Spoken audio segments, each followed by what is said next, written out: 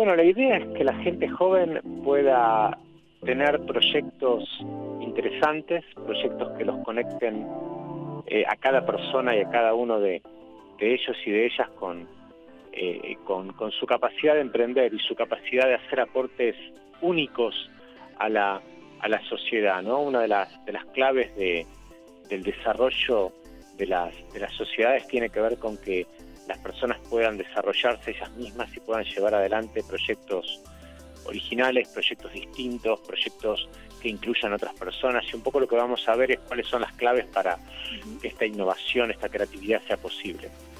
Yo creo que la diferencia tiene que ver con, con, aceptar y con, digamos, poner en valor lo que uno ya tiene, es decir, eh, la diferencia que hay entre alguien que emprende y alguien que no emprende no es una diferencia de que quien emprende tiene más y quien no emprende tiene menos, sino que tiene que ver con, con una actitud de valorar lo que tenés y, comunicarlo y hacer algo con eso que tenés. Esta es la clave, hacer algo con, con eso que tenés, con lo que sabés, con lo que sabés hacer, con tu origen, con la gente que conoces, con el mundo que te rodea, poder, digamos, transformar tu entorno cercano en algo que también sea valioso para otros. La diferencia que hay entre creatividad e innovación tiene que ver con que la innovación eh, es la creatividad vista del lado de, la sociedad, es decir, una persona creativa es una persona que, hace un aporte novedoso, valioso, interesante,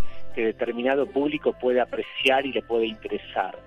Ahora, para que esa creatividad se transforme en innovación, tiene que tener un plus, que es que esa, esa novedad, ese aporte lo tenemos que incorporar a nuestra vida, ¿no? Los, los, los innovadores, el emprendedor está más cerca del innovador ¿no? que, que, del creativo, si bien es un creativo pero con un foco más innovador, el emprendedor lo que logra es que sus ideas sean adoptadas por otros, que sus ideas se metan dentro de, la sociedad, se metan dentro de la vida cotidiana de la gente. Esta es la, diferencia. La innovación es la creatividad eh, metida en la vida cotidiana de, de, la gente. Hay un montón de ideas que nunca se transforman en innovación un montón de inventos que están en las oficinas de patentes o inventos que, con los cuales no se hace nada.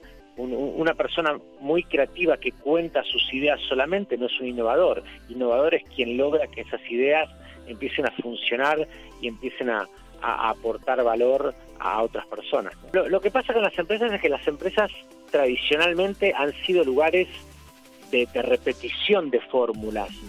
Una empresa funciona bien si pueda repetir una fórmula eh, eh numerosas veces y, digamos, y lucrar con la repetición de, esa fórmula, ¿no? Eh, mientras más mejor. Lo que pasa es que en los últimos años esto ha sido muy difícil, de la repetición no se vive, entonces hay que buscar la, innovación. Eh, pero no nos tenemos que olvidar que, una empresa no tiene como, función innovar. Las empresas innovan para poder seguir funcionando. Si pudieran no innovar, no innovarían. Entonces, este, eh, no hay que pedirle a la empresa eh, eh, que, que, innove solo por el hecho de innovar, porque en realidad las empresas este, lo que hacen es tratar de generar lucro de la manera más, digamos, que, que, les favorezca su subsistencia. Pero ¿qué pasa? También hay organizaciones que no son empresas, organizaciones sin fines de lucro, ONG, eh, clubes y diferentes emprendimientos en la actualidad, donde lo importante es la innovación, es transformar el mundo que los rodea y emprendedores que también tienen que ver con eso. O sea, las empresas son solo una parte de la, de la cuestión. La gente joven tiene que saber que siempre hay opciones. Es decir, si vos sos un, una persona que está terminando su secundario, que está en cuarto, en quinto año, que tu sensación es que está todo hecho, tu sensación es que es difícil, tu sensación es que es difícil encontrar trabajo, que nadie le da pelota a tus ideas. Bueno, eh, eh, esto puede ser así, pero también se pueden hacer cosas, también se pueden buscar nuevas personas con las cuales hablar, nuevos públicos.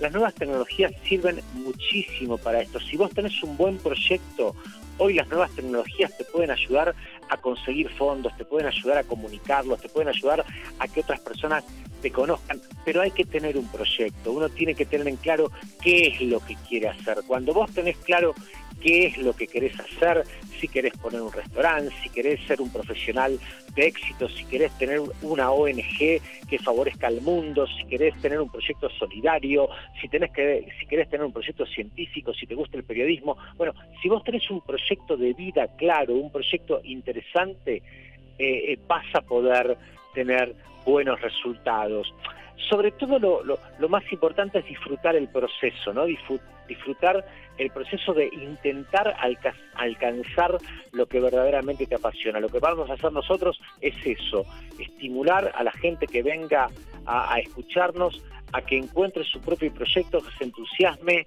y que, y que vive la vida con, ganas de ser vivida y de lograr cosas este, realmente interesantes para, para el entorno y para sus, sus compañeros, para sus colegas, para, para sus amigos, para la gente que te rodea.